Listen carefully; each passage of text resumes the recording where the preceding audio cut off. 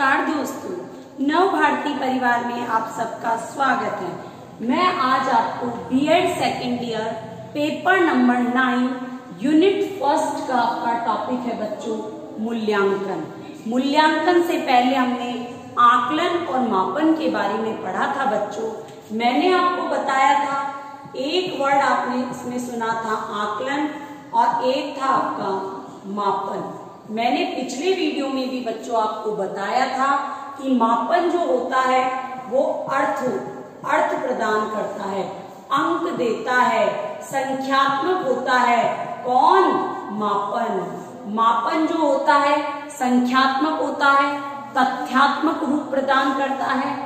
मापन में परिमाणात्मक निर्णय तक पहुँचा जा सकता है। लेकिन बच्चे का परिमाणात्मक परिणाम ज्ञात करना ही पर्याप्त नहीं होता है, उसका गुणात्मक निर्णय देना भी आवश्यक होता है। इसीलिए मापन बच्चों एक संकुचित अवधारणा है।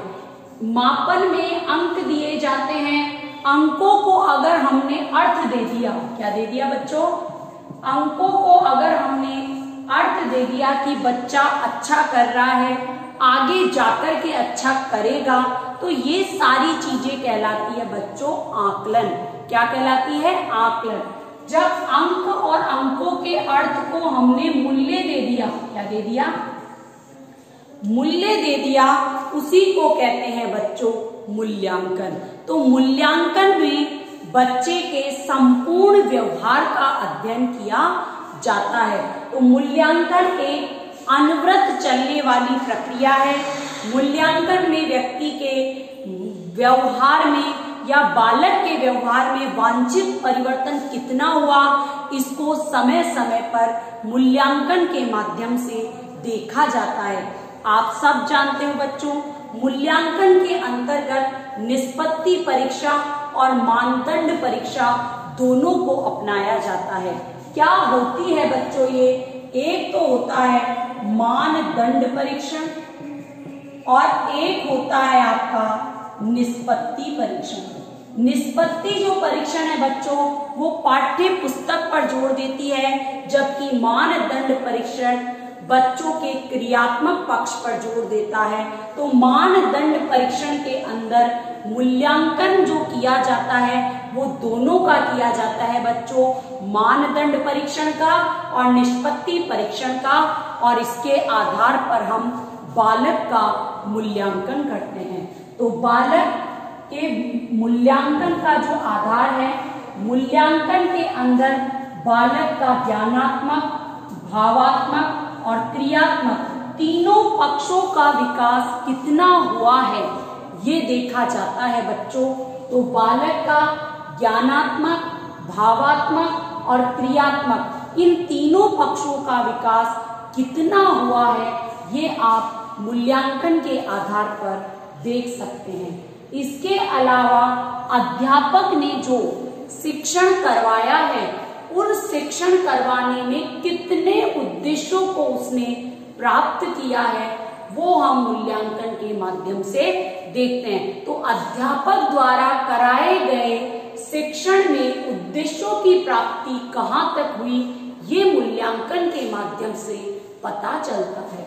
फिर आता है बच्चों, बालकों ने कितना अधिगम किया, कितना उसको व्यवहार में डाला कितना सीखा, कितनी शिक्षण प्रविधियों के माध्यम से, कितनी मात्रा में सीखा, समाज में उसका कितना उपयोग किया, वास्तविक जीवन में उसका कितना उपयोग किया बच्चों, ये सब हम मूल्यांकन के अंदर देखते हैं कि बालक ने कितना अधिगम किया। अधिगम करने के बाद उसने उसके व्यवहार में कितना परिवर्तन आया और वांछित व्यवहार में परिवर्तन करते हुए कितने शैक्षिक उद्देश्यों को प्राप्त किया जा सका, कितनी विषय वस्तु को पढ़ाया जा सका, उस विषय वस्तु से बालक के व्यवहार में कितना परिवर्तन हुआ, ये सब हम मूल्यांकन के माध्यम से देख पाते हैं। फिर आता है बच्चों, अधिगम की परिस्थितियों सीखने के अनुभव के लिए प्रयुक्त सभी विधियों और प्रविधियों की उपयोगिता की जाँच की जाती है कि बालक को जो अधिगम परिस्थितियाँ दी जाती है और उन सीखने के जो अनुभव उसको दिए जा रहे हैं, उसमें किन शिक्षण विधियों का प्रयोग हो रहा है और जिन शिक्षण विधियों का प्रयोग हो रहा है, उनकी उपयोगिता हुई या नहीं हुई, ये भी हम मूल्यांकन के माध्यम से देखते हैं कि बच्चे की अधिगम परिस्थितियों और सीखने के अनुभवों के लिए प्रयुक्त सभी विधियों और प्रविधियों की उपाध्यता की जाँच जो है, हम मूल्यांकन के माध्यम से करते हैं। अब कुछ विद्वानों की परिभाषाएँ हैं। आप सब जानते हैं बच्चों कि कोठारी शिक्षा आयोग, जो कि 1966 में आया,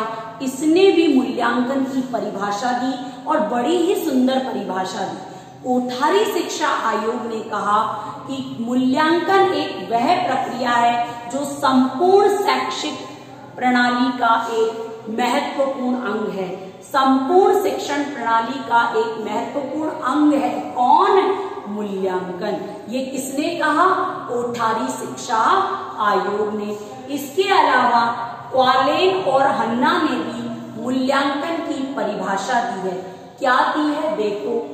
विद्यालय द्वारा छात्र के व्यवहार परिवर्तन के संबंध में प्रदत्तों का संकलन और उसकी व्याख्या करने की प्रक्रिया ही मूल्यांकन कहलाती है कि विद्यालय द्वारा छात्र के व्यवहार में कितना परिवर्तन हुआ, उसका संकलन करना और उसकी व्याख्या करना कि किन किन शैक्षिक उद्देश्यों को प्राप्त किया जा सका है किन किन शैक्षिक उद्देश्यों को प्राप्त नहीं किया जा सका है, बालक के व्यवहार में कितना परिवर्तन हुआ है, ये सब मूल्यांकन उसकी व्याख्या करता है। ये परिभाषा दी बच्चों क्वालेन तथा हन्ना के द्वारा कि विद्यालय द्वारा छात्र के व्यवहार परिवर्तन के संबंध में प्रदत्तों का संकलन और उसकी व्याख्या करने की प्रक्रिया को ही मूल्यांकन कहा जाता है। उसके बाद देखिए बच्चों, बोर्ड ऑफ़ पेपर्स उदयपुर ने भी मूल्यांकन की परिभाषा को प्रकाशित करवाया। इसने कहा कि उद्देश्य आधारित अनुदेशन एवं छात्रों की प्रगति का निरंतर और विस्तृत निर्धारण सुधार करने की प्रक्रिया। देखो जिन उद्देश्यों को प्राप्त करना है उन अनुदेशों की सूचना उपलब्ध करवाना। छात्र की कितनी प्रगति हुई है, उसकी निरंतर और जाँच करना और विस्तृत निर्धारण सुधार करने की सुविधा जो है, वही प्रक्रिया मूल्यांकन कहलाती है, ये कहा आपके बोर्ड ऑफ़ पेपर्स उदयपुर ने। उसके बाद आती है बच्चों वैसले की परिभाषा। वैसले कहता है कि मूल्यांकन एक समावेशन धारणा है, जो किए गए प्रयास का स्तर देखता है, उसका मूल्य देखता है और उसकी प्रभावशीलता की ओर संकेत करता है। मतलब यहाँ पर यह है कि मूल्यांकन एक ऐसी समावेशन धारणा है, जिसमें छात्रों के स्तर, मूल्य और उसकी प्रभावशीलता की ओर संकेत किया जाता है। वही बच्चों क्या कहलाता है? मूल्यांकन कहलाता है। ये परिभाषा दी वैसले साहब ने। उसके बाद आता है बच्चों डाडेकर। डाडेकर ने कहा कि बालक ने प्राप्त उद्देश्यों को कहाँ तक प्राप्त किया? जो भी उद्देश्य बालक के निर्धारित किए गए थे जिन उद्देश्यों को ध्यान में रखते हुए बालक को अध्ययन करवाया गया था, अधिगम करवाया गया था, उन उद्देश्यों को कहाँ तक प्राप्त किया, इनको हम किसके माध्यम से, मूल्यांकन के माध्यम से देखते हैं। ये कहा आपके डाडेकर साहब ने। उसके बाद आता है, टारगेसन और एडम्स ने कहा, किसी भी वस्तु व प्रक्रिया का मूल्य निर्धारण करना ही मूल्यांकन कहलाता है। किसी भी वस्तु और व्यक्ति का अगर हमने मूल्य को निर्धारित कर दिया, स्थान को निर्धारित कर दिया तो वही क्या कहलाता है? मूल्यांकन कहलाता है। ये सुंदर परिभाषा टारगेसन और एडम्स ने दी। तो इन परिभाषाओं को आपने देखा। पहली परिभाषा क्वालेन और हन्ना की, दूसरी बोर्ड ऑफ़ पेपर्स की, तीसरी वैसले की चौथी डाडेकर की और पांचवी है टारगेसन और एडम्स की।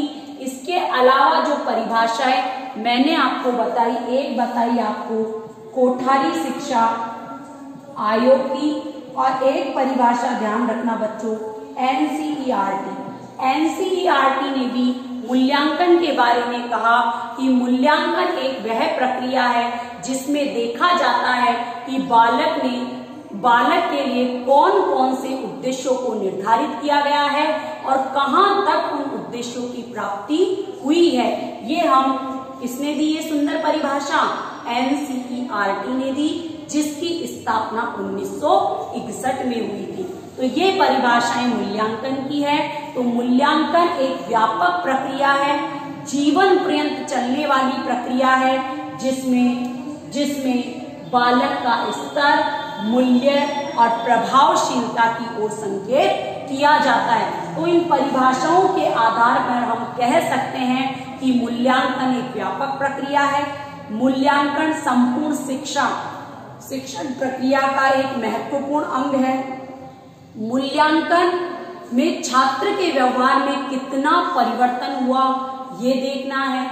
मूल्यांकन के अंदर छात्र के लिए जिन उद्देश्यों को निर्धारित किया गया था, उन उद्देश्यों की कितनी प्राप्ति हुई, ये सब हम मूल्यांकन के अंदर देखते हैं। अब बच्चों, आपका टॉपिक है मूल्यांकन के उद्देश्य। मूल्यांकन के उद्देश्यों की अगर हम बात करें बच्चों तो मूल्यांकन का पहला उद्देश्य है अंतिम निर्णय देना। छात्र के व्यवहार को देखकर छात्र के व्यवहार के परिवर्तन को देखकर उस पर अंतिम निर्णय देना मूल्यांकन का महत्वपूर्ण उद्देश्य माना जाता है। उसके अलावा छात्र के व्यवहार में परिवर्तन को देखा, उसकी जाँच की, उसके स्तर का निर्धारण किया उसके मूल्य का निर्धारण किया, उसकी प्रभावशीलता को देख करके उसको निर्देशन दिया जाता है और व्यावसायिक परामर्श जो है, वो मूल्यांकन का महत्वपूर्ण उद्देश्य है कि छात्र के स्तर को देखकर उसको निर्देशन और परामर्श देना, ये मूल्यांकन का महत्वपूर्ण उद्देश्य है। उसको व्यावसायिक परामर्श उसके स्तर के आधार पर ही दिया जाना चाहिए। ये मूल्यांकन का महत्वपूर्ण उद्देश्य माना जाता है।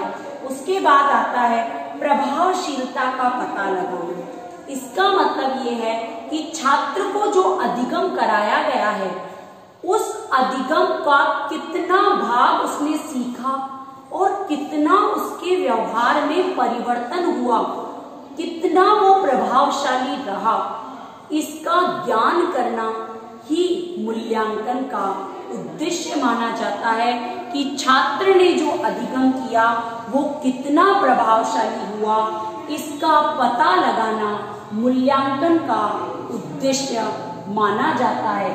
तो मूल्यांकन का उद्देश्य पहला है बच्चों, अंतिम निर्णय देना दूसरा है बच्चों, प्रभावशीलता का पता लगाना।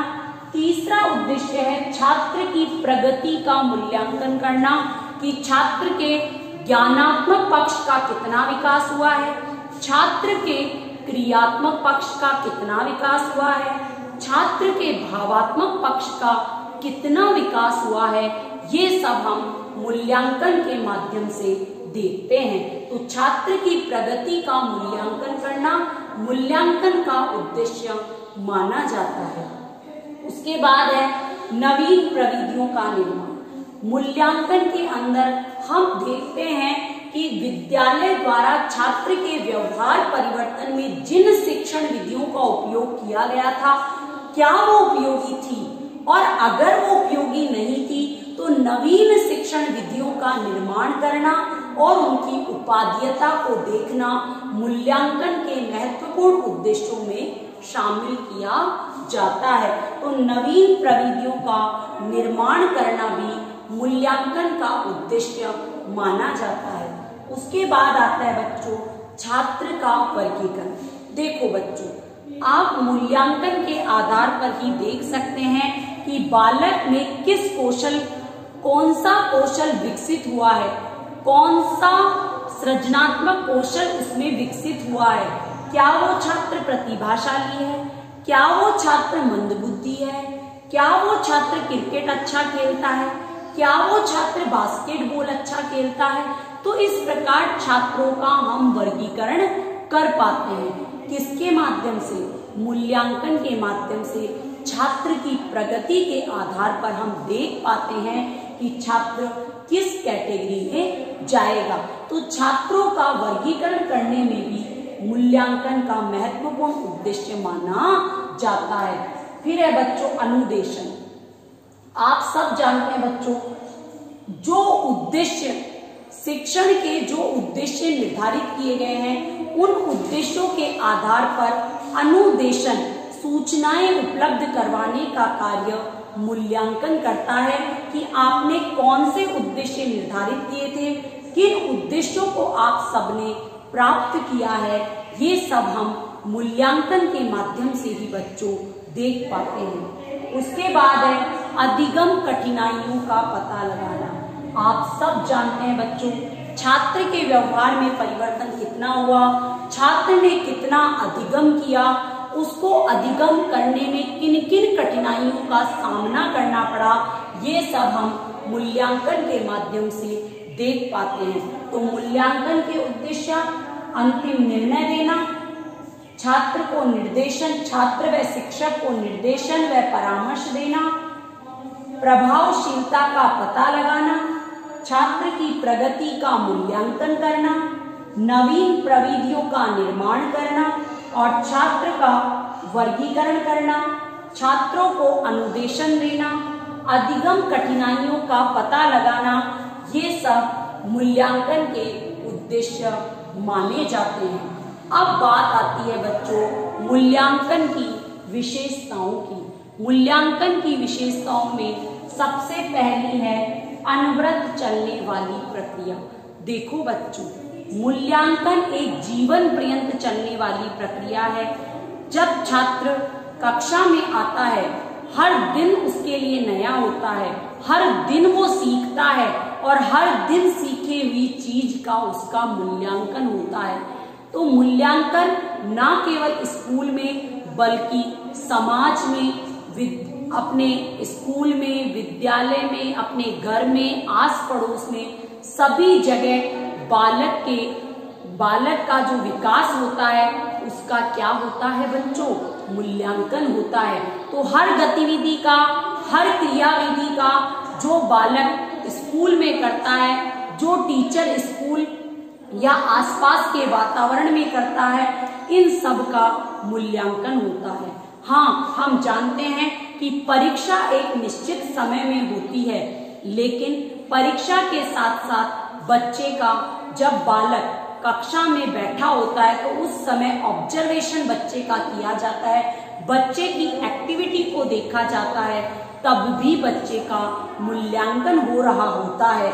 उसी को बोलते हैं हम रचनात्मक मूल्यांकन, कि जब बालक अधिगम कर रहा है बालक को समस्या दी गई है। बालक उस समस्या का समाधान कर रहा है। उस समय की परिस्थितियों का मूल्यांकन किया जाता है। तो मूल्यांकन एक अनवरत चलने वाली प्रक्रिया है। मूल्यांकन कभी भी रुकती नहीं है। फिर है बच्चों, व्यापक प्रक्रिया। मैंने आपको बताया था कि व्यक्ति का सर्वांगीण विकास करना मूल्यांकन का उद्देश्य है। जो बच्चे के लिए उद्देश्य निर्धारित किए हैं, उन उद्देश्यों को पूरी तरह से प्राप्त करना मूल्यांकन का उद्देश्य है। तो मूल्यांकन के अंदर बालक का न केवल ज्ञानात्मक विकास होता है, बल्कि बच्चे का ज्ञानात्मक, भावात्मक और क्रियात्मक तीनों पक्षों के विकास पर ज़ोर देता है बच्चों। कौन? मूल्यांकन। तो मूल्यांकन के अंदर बालक के ज्ञानात्मक भावात्मक और क्रियात्मक तीनों पक्षों पर ज़ोर दिया जाता है। उसके बाद है बच्चों, बाल केंद्रित प्रक्रिया। देखो बच्चों, मूल्यांकन का आधार ही बालक है। बालकों को ध्यान में रखते हुए शिक्षण विधियाँ बनाई। बालकों को ध्यान में रखते हुए उद्देश्य निर्धारित होते हैं। बालकों को ध्यान में रखते हुए ही शिक्षण आयु रचना बनाई जाती है। बालकों को ध्यान में रखते हुए ही नवीन प्रविधियों का निर्माण किया जाता है। तो मूल्यांकन का जो आधार बिंदु है बच्चों, वो बालक है। बालक को ध्यान में रखते हुए ही मूल्यांकन की प्रक्रिया को अपनाया गया है, मूल्यांकन किया जाता है। बालक ने कितना अधिगम किया किन किन परिस्थितियों का सामना किया, कितनी अधिगम कठिनाइयाँ आई, उसके उसके स्तर का निर्धारण, उसके मूल्य का निर्धारण और उसका प्रभावशीलता का आकलन। तो सारी चीज़ें हमने किसको केंद्र बिंदु बनाया?